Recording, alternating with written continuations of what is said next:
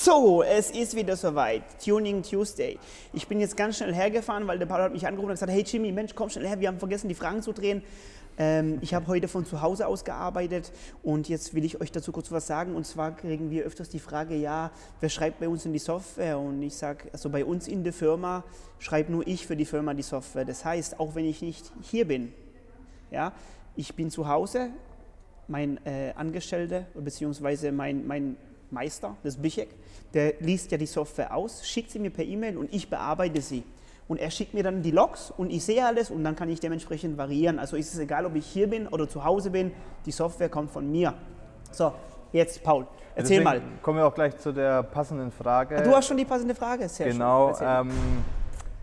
Passt ja eigentlich schon dazu. Was sind deine täglichen Aufgaben im Geschäft? Und das sind ja dann eigentlich jetzt letztendlich. Genau, also die die habe ich ja gerade beantwortet. Software schreiben, ich sag mal zu 80% Software schreiben, dann klar ein bisschen äh, Papierkram und ab und zu natürlich noch Mechanik. Ich schraube noch sehr, sehr gerne. Ähm, also alles, was meine eigenen Autos sind, schraube ich sowieso alleine und mache das selber, weil wenn, wenn da was falsch machst, dann weiß ich auch, wer es falsch gemacht hat. Ne? So.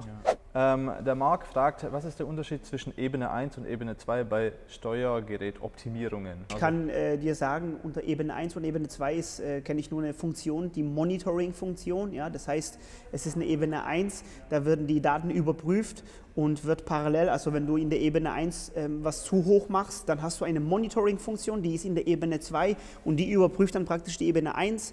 Wenn du zu viel vom Drehmoment hast oder irgendwas zu viel, dann checkt es die Ebene 2 und bumm, hast einen Fehler. Das sind eigentlich Monitoring-Fehler. Ja? Ich denke mal, dass das die Frage war, Ebene 1, Ebene 2, was anderes kenne ich nicht unter Ebene 1 und Ebene 2. So, Paul, weiter geht's. Der Alex schreibt Kompressor versus Turbo, Pro und Kontras der jeweiligen Systeme. Kannst du dazu was sagen? Pro und Contra der jeweiligen Systeme. Also, ich sage dir mal eins. Ähm, heutzutage ist es so, dass du eigentlich mit einem Turbo, also ich vergleiche es mal so vor, vor zehn Jahren. Ja, vor zehn Jahren hast du einen Kompressor gehabt. Das Ding hat eigentlich kontinuierlich Druck aufgebaut. Das heißt, umso höher die Drehzahl war, umso mehr Druck hat der Kompressor gemacht. Nachteil da war ähm, die Verlustleistung. Der Kompressor wird ja angetrieben über einen Riemen, ja, und der Riemen ist ja vom Kurbeltrieb angetrieben und der frisst halt auch Leistung, ja. Deswegen ist das natürlich pro kontra. Ähm, ein Turbolader äh, wird ja von der Abgase angetrieben, von daher habe ich da keine ähm, Verlustleistungen. Der Nachteil früher war beim Turbolader, er ist äh, angefahren ja, und hat dann höhere Drehzahlen, äh, den Druck meistens verloren. Und da war da halt der, der Kompressor etwas besser, ja, weil er halt umso höher Drehzahl war, umso mehr gedreht hat. Aber die Turbos heutzutage, die sind so gut und so geil gemacht, dass ich heute nie einen Kompressor verbauen würde, auch als, als Hersteller. Ich würde nie auf einen Kompressor gehen, weil die Turbos sind so ähm, gebaut und so gemacht, dass du selbst bei ganz hohen Drehzahlen noch äh, einen hohen Druck fahren kannst. Von daher ist Kompressor Geschichte und das wird, äh, glaube ich, auch nicht mehr kommen. Was jetzt kommt, sind die Batterien und da bin ich schon ziemlich heiß drauf. Jetzt möchte der Yannick wissen, wie es bei uns abläuft mit dem Tuning. Ja. Janik? Ja. Achso, Janik. Punkt 1, Zbichek. Nee, Punkt 1 ist, du kommst zu uns nach Bad Mergentheim, dann kriegst du erstmal einen lecker Kaffee ja, oder einen lecker Tee oder egal was du willst zum Trinken. Dann äh, zeigen wir die AGBs, ja, die kannst du dir durchlesen oder auch nicht. Ja, die musst du unterschreiben, sonst fangen wir mit deinem Auto gar nicht an. Also wer bei uns die AGBs nicht unterschreibt, kriegt das Auto einfach nicht gemacht. Ja? Und ähm, dann ist es so, ähm, entweder ich oder das Bichek, mein Meister, der liest dann die Software aus ja? und schickt sie dann mir und dann wird die bearbeitet in der Zeit, je nachdem, was für ein Paket gebucht ist, ob du eine Messung bekommst oder nicht. Das heißt, es wird eine Eingangsmessung gemacht, Logs gemacht in Serie, dann wird die Software modifiziert, dann wird die Software draufgespielt, Ausgangslogs gemacht, eine Ausgangsmessung wird dann gemacht, wenn sie gewünscht ist. Ja? Und dann zahlst du und dann gehst du glücklich nach Hause. Und wenn du nicht glücklich bist, dann mache ich so lange, bis du glücklich wirst. Also. Ja, nebenbei gibt es dann immer wieder gute Fotos, ne?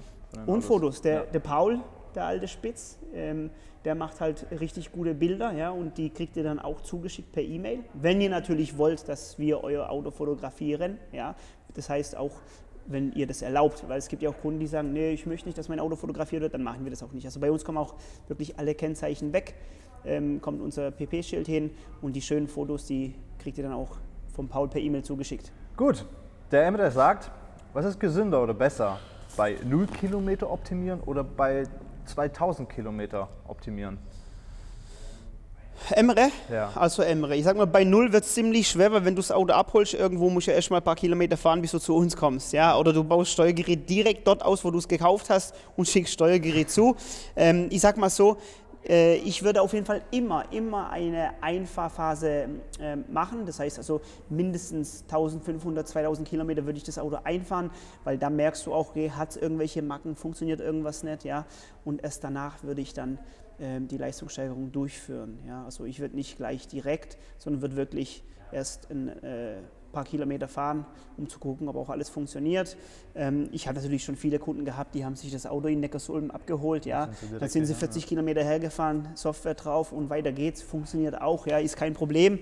Ähm, Nichtsdestotrotz empfehle ich trotzdem äh, so zwei, zwei, zweieinhalbtausend, zwei bis zweieinhalbtausend Kilometer Einfahrphase und dann die Software. Ja, ja. So, der Domme, der will wissen, was so die beste Methode ist, um Feuer spucken zu lassen bei einem Auto. Feuer spucken. Ja, also die Flames, die Flammen Die rauskommen. beste Methode, Feuer Ja. spucken lassen. Spritnei ohne Ende, ja.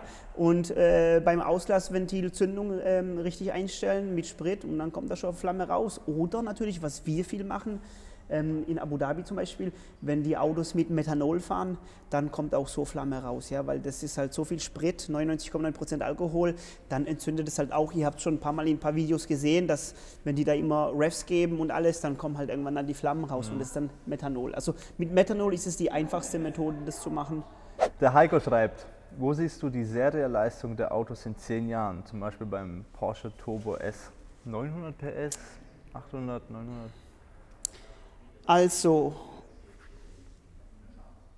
da ja am Sonntag die Wahlen waren und ich gesehen habe, dass lauter Menschen die Grünen gewählt haben, da sage ich euch, Nur noch Fahrrad fahren, oder? nee, da sage ich euch, das wird nicht mehr so sein. Es wird vereinzelt Autos geben, Supersportwegen mit, mit 1000 irgendwas PS, ja. Aber ich denke mal so, der Normalo, ähm, da, das wird so in der, in der Klasse bleiben. Auch die Elektroautos, die werden dann auch so irgendwo vielleicht 800, 900 PS dann haben, weil man wird es einfach nicht brauchen, ja. Der Chris schreibt, mit welchen Marken von Downpipes hast du gute Erfahrungen gemacht, jetzt speziell für den AMG? Also für AMG, ich sag mal bei Downpipes, bei Downpipes hast du eigentlich wenig Probleme, ja. Von den Downpipes her passen eigentlich sehr, sehr viele Downpipes. Ähm, Passgenauigkeit ist da einfach. Wo es da mehr Probleme gibt, ist bei Abgasanlagen. Aber Downpipe selber kannst du eigentlich fast alles nehmen und das, das passt eigentlich ziemlich gut. Aber klar, auf dem, Deu- für den deutschen Markt auf jeden Fall Downpipes mit HJS-Cuts, ja. Die, es gibt viele mit EG und auch die ohne EG dann würde ich, ich würde immer empfehlen, wenn also es mein Auto wäre und ich das im Alltag nutze, auf jeden Fall Downpipes mit Renncuts reinmachen, weil dann stinkt es nicht, ja, dann hast du den Vorteil, dass es nicht stinkt und von der Leistung her ähm, ist es minimalst, es ist kaum spürbar zwischen ohne Cut und mit Cut. Jetzt kommen wir zu der letzten Frage vom Mirko. Er schreibt, kann man mit VCDS für die VAG-Fahrzeuge Komponenten wie Lambda 2 oder Nockenwellensteller dekodieren? Dekodieren. Ja. Das ist eine gute Frage. Also, was, was du machen kannst, also was ich weiß, funktioniert, sind so Sachen wie äh, Geschwindigkeits, weißt du, in Abu Dhabi hast du ja diese 120, da diese Limit, das kannst du ausmachen, Gurt kannst du auskodieren und diese kleinen Feinheiten, gerade was äh, Lambda und so geht, geht, geht glaube ich mit dem VCDS nicht, da brauchst du dann schon irgendwas vom Entwicklertool, wo du das alles auskodieren kannst. Also VCDS kriegt es glaube ich doch nicht hin, weil das ist dann doch sehr tief drin. Ne? So Paul, Gut. war's Ich das? glaube, das war's schon. Wir sind jetzt fertig. Ihr könnt jetzt schon mal die nächsten Fragen stellen für nächste Woche. Ich gehe jetzt wieder nach Hause, weil äh, Salah aus Abu Dhabi wartet noch auf zwei, drei Files. Die mache ich dann jetzt schnell. Und dann sehen wir uns am Dienstag wieder, oder? Ja, so Also. Paul.